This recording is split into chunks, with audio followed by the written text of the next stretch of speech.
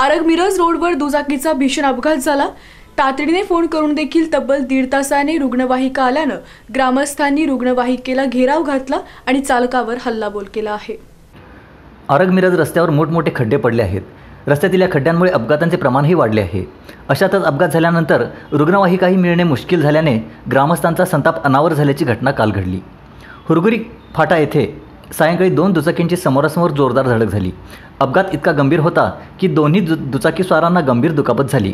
एकाचा तर पाय तुटून पडला होता व अन्य तिघे रक्तबंबाळ अवस्थेत पडले होते. जमलेल्या ग्रामस्थांनी तातडीने एकशे आठ रुग्णवाहिकेशी संपर्क साधला. मात्र तब्बल दीड तासाने रुग्णवाहिकेचे आगमन झाले.